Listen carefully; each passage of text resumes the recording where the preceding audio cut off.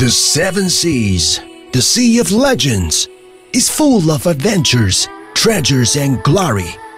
At its center lies the lost city of Atlantis, attracting many brave sailors in search for its treasures.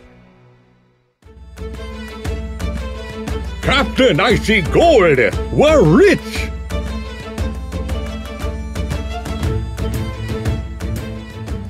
What is that?